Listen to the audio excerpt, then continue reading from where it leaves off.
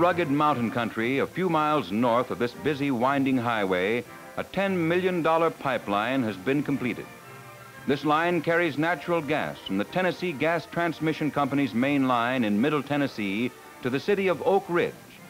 Because of the atomic bomb plant, Oak Ridge in a few short years has grown from a small mountain community to become the fifth largest city of Tennessee.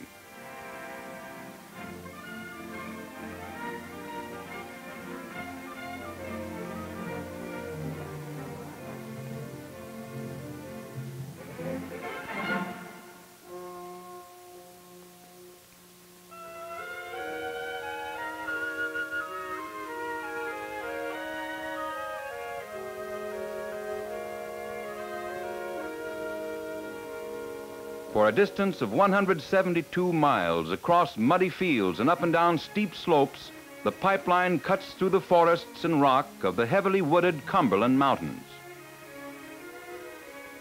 Powerful bulldozers cleared the right-of-way through the forests, and the traction ditchers went to work digging the trench to the full depth when possible, or down to the underlying rock.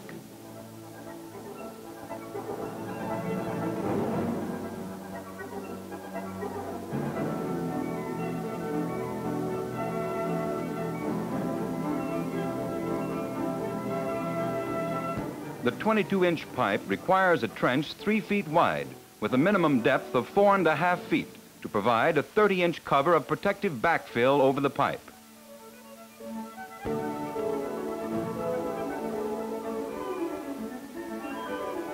The conveyor belt piles the dirt in a neat ridge, ready for the bulldozers to backfill the trench after the pipe is laid.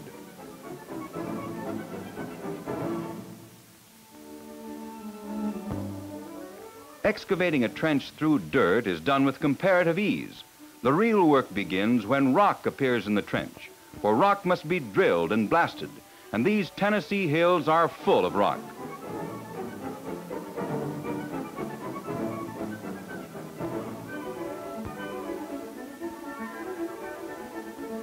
The contractor was working against a time limit. The problem of putting the trench through the limestone, dolomite, and sandstone of these Cumberland Mountains had to be met with the most powerful of modern drilling equipment. The steady trend of all construction machinery is toward larger machines of greater capacity to accomplish more work faster.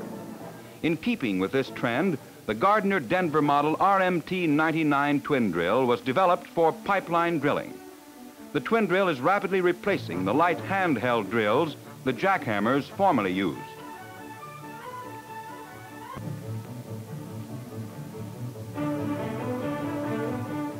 One of these twin drills will equal the daily footage drilled by eight of the lighter handheld drills. And the drillers are relieved of the arduous task of carrying drills and steel and air hoses from hole to hole. The tractor carries the twin drill with ease and tows the compressor as well. Together they make a complete drilling unit, highly mobile. While highways wind through the mountains to minimize the grades, pipelines go straight across country as the crow flies.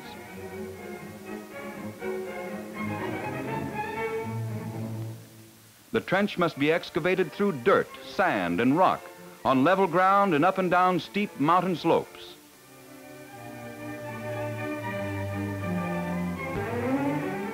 Each set of twin drills receives its air supply from a Gardner Denver 500 cubic foot air compressor.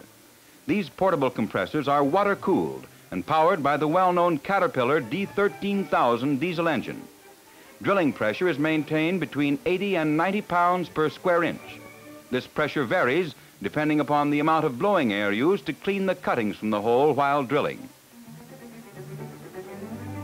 The Cumberland Sandstone Formation is highly abrasive silica sand rock so abrasive that it's mined and crushed for use as a cutting medium in the gang saws of the marble mills of Knoxville, a few miles away. Oil bath cleaners are used on both engine and compressor to remove the dust of the nearby drills from the intake air. But the dust condition here is extreme, and the air cleaners require careful attention. This contractor keeps extra cleaners on hand, and a Jeep tours the line with them. Each dirty cleaner is exchanged frequently for one which has been cleaned and filled with fresh oil. This kind of care pays dividends by maintaining the efficiency of the equipment.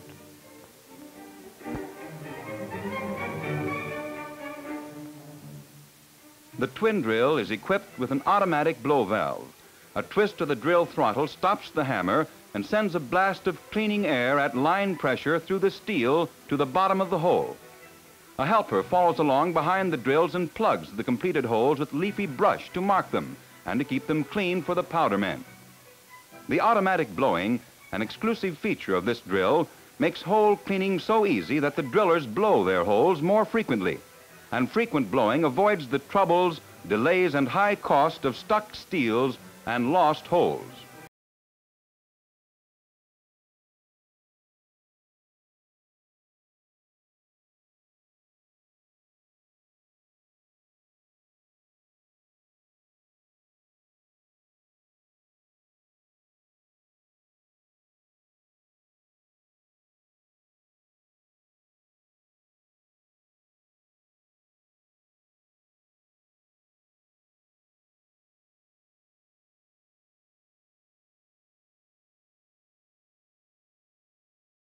First, to lift the drills until the steel and bits are in the clear. The tractor and compressor then move up about three feet for correct spacing of the holes. The drills are lowered, the operators steady them momentarily to spot the next holes, and they start drilling again. To come out of the finished holes and move to the next set of holes requires less than one minute. The drilling is almost continuous, and the outfit moves steadily along. Holes are drilled on each side of the trench in a staggered pattern and bottomed between five and six feet below the ground level. Where the rock does not come to the surface, the long steel reaches down to the rock. The operators stand on the ground level and control the drills from there.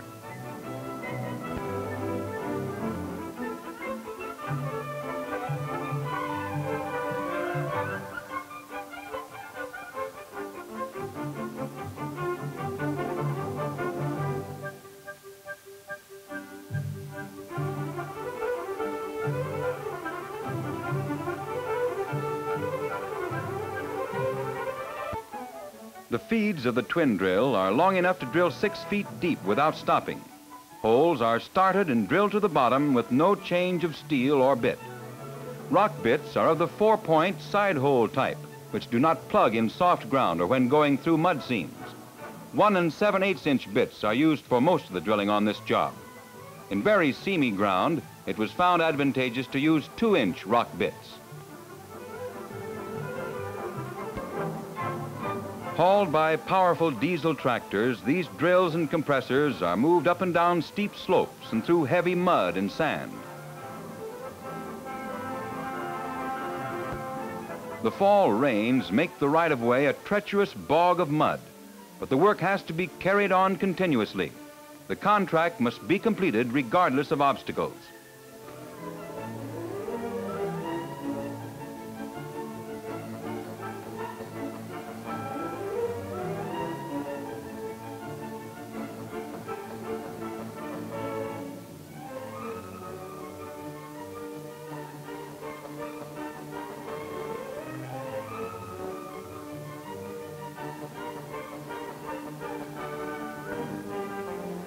The slippery surface after a rain makes the going hazardous when moving equipment to a new location.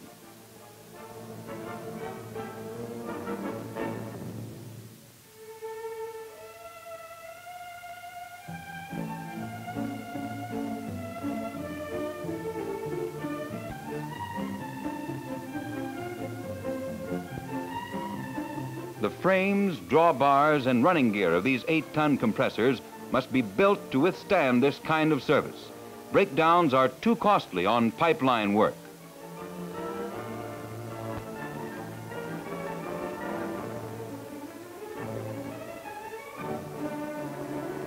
The sure-footed bulldozers are called upon frequently to help the supply trucks through the heavy going. Fuel supply must be maintained.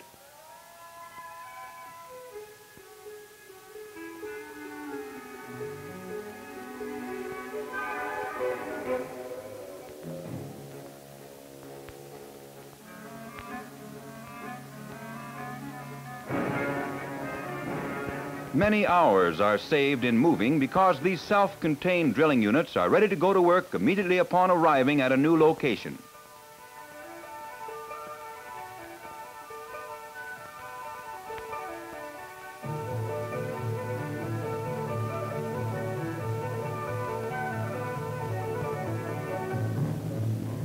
Two spreads of equipment are used.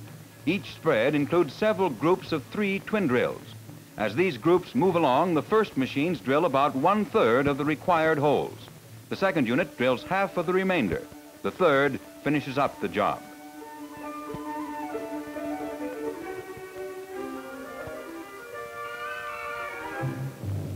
This system simplifies the supervision and concentrates the blasting at the end of the day to fewer locations, one for each group of drills.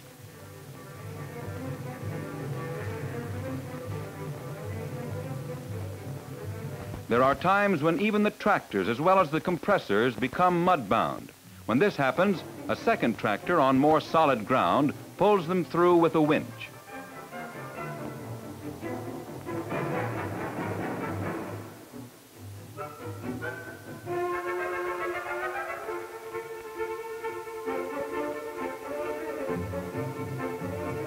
The rock is very seamy, solid rock formations, which are easier to drill, were seldom found.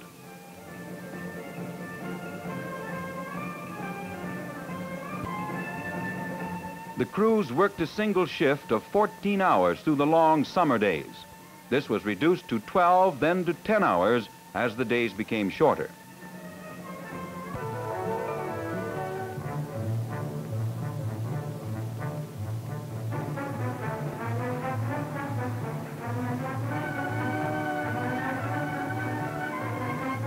Twin drill hangs from the side boom on a ball bearing swivel eye, so the alignment is not affected by the twist of the cable.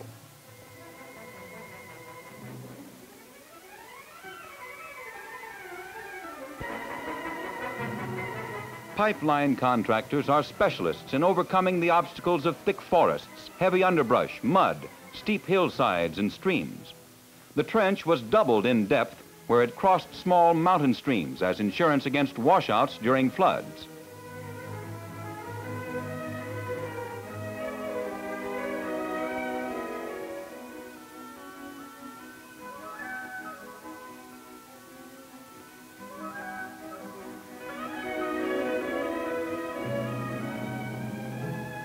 Down the steep hill, a twin drill with its tractor and compressor moved to a new location.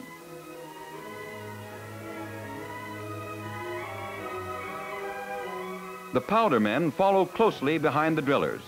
40% gelatin dynamite in one and a quarter and one and a half inch sticks is used throughout the job.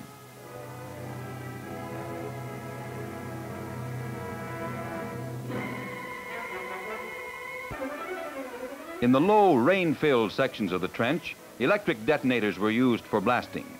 The heavier rock cuts were also shot with electric detonators. Small stream crossings were shot with primacord. Most of the holes, however, were blasted with cap and fuse.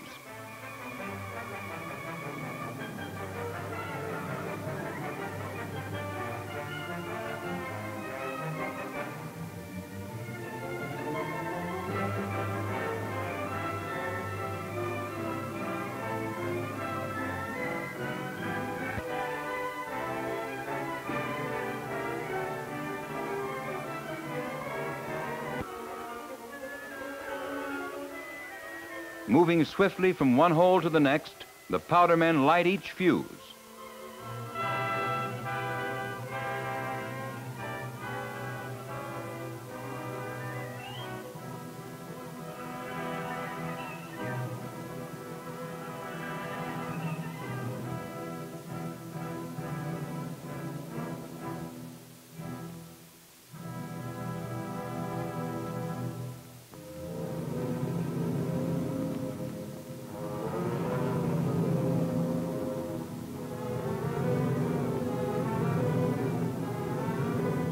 Having lighted the fuses, the powder men retreat to a safe distance to watch the results of their work.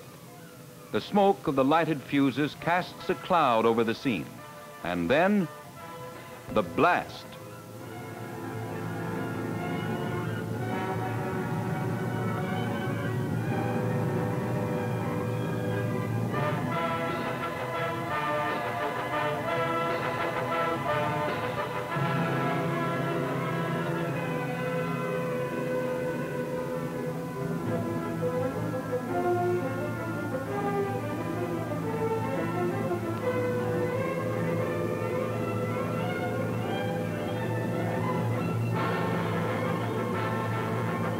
Like a creeping barrage, the succession of blasts comes closer and closer, shaking the earth and breaking the trench to the required grade.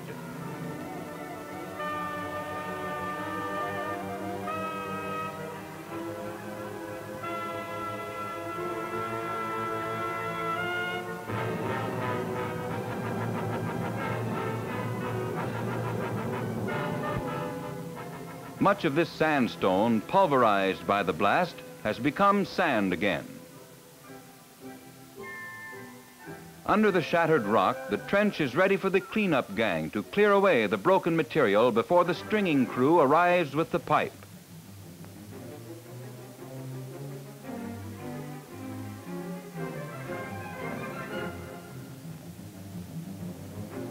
At this point, it's apparent that the heavy loading of the holes has paid off. The rock is well broken.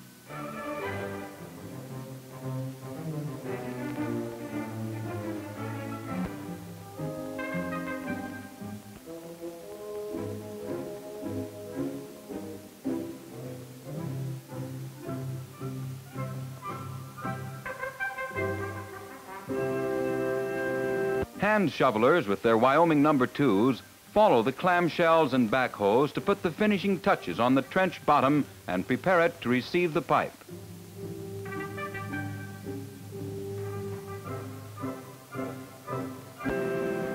The occasional high spot of rock in the bottom of the trench is drilled out with Gardner Denver 55-pound handheld drills.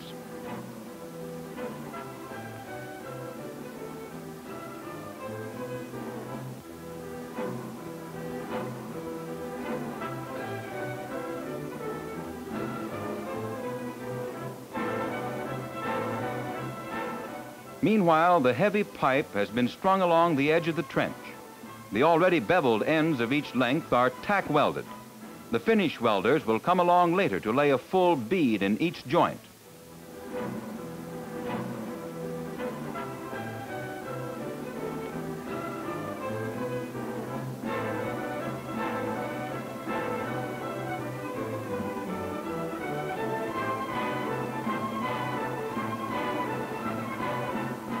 Welding a pipeline is a job for experts.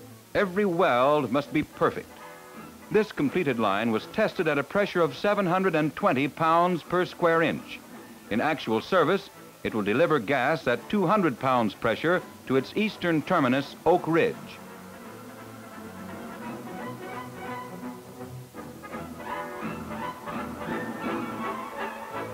Pipelines are costly. They must return the owner's investment by giving uninterrupted service for many years while lying buried in damp ground. Complete protection against corrosion and electrolytic damage is of prime importance.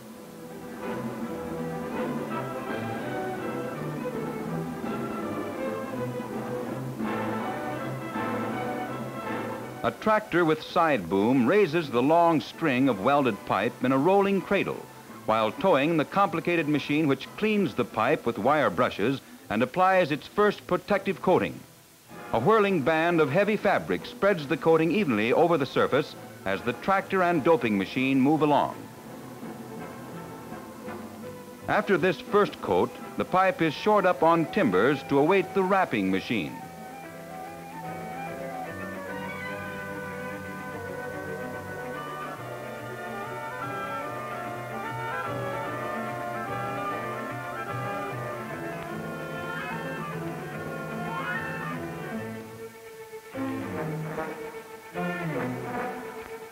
Following the doper comes the wrapping machine, another ingenious piece of special pipeline equipment.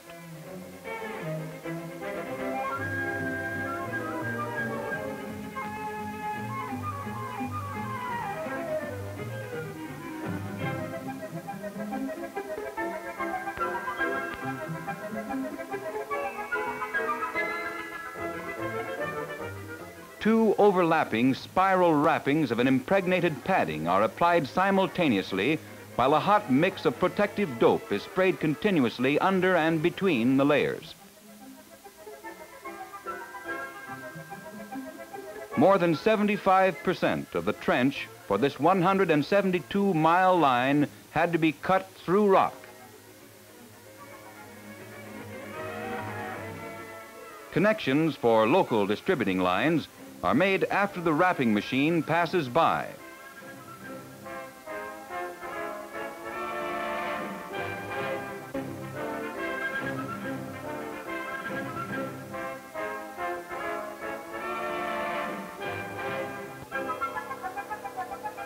The completed line will deliver 60 million cubic feet of natural gas daily to the Atomic Energy Commission's Oak Ridge plant. It will supply also the industrial and domestic needs of the many smaller communities along its route through the hills of Middle Tennessee.